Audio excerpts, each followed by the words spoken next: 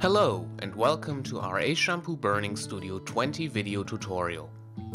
Ashampoo Burning Studio burns, converts, backs up and copies your data to CD, DVD, Blu-ray and external drives. In the following minutes, I'll show you how to back up your files to an optical or hard disk with the help of a backup plan. Once launched, I select Backups. This menu has multiple options to back up your local or external files, including cell phone data. For this example, I'll use Backup Files. Next, I select the files and folders to include in the archive. I want to save my local files to a USB flash drive, so I expand this computer to reveal the subfolders. Then, I select the My Pictures folder by checking the corresponding box. Naturally, you can also select multiple files and folders at once. Afterwards, I click Next. I can then specify various settings including the name and output location for the archive. A project can hold any number of archives and I intend to store all of my pictures in a single project. Fittingly, I'll call it All Pictures. In the next step, I select the flash drive that will hold the data. Since the non-optical disk option is already selected by default, I only have to select the location for my archive. This is achieved through the Windows Directory Chooser dialog. And just like the project, the archive needs a name, which I'll enter now. Since there may eventually be multiple archives in this project, I use a descriptive name to better tell them apart later and hit save. Then I check the path once more to ensure everything is in order. If needed, you can add password protection to your archive.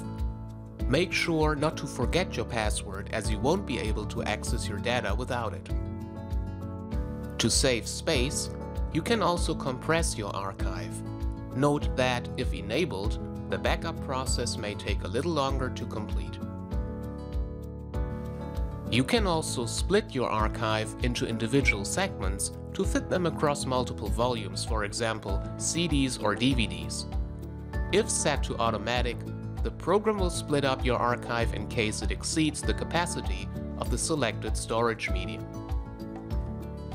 Finally, you can use the reminder feature to get notifications to update your projects at regular intervals.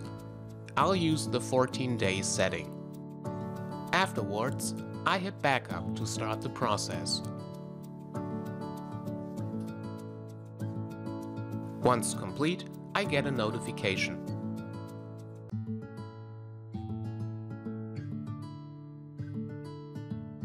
Here's how you can manage your backups more easily.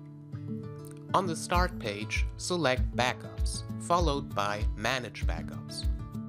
Available backup projects will be listed on the left. Select a project to display associated archives in the center. This makes it easy to restore an archive or create new ones based on existing settings. Click Back to return to the Start page.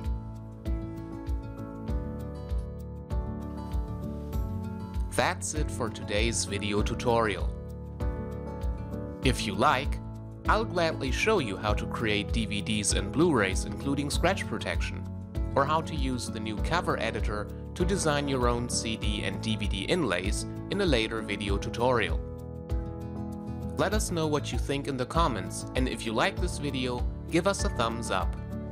Thanks for watching and see you in the next Ashampoo video tutorial.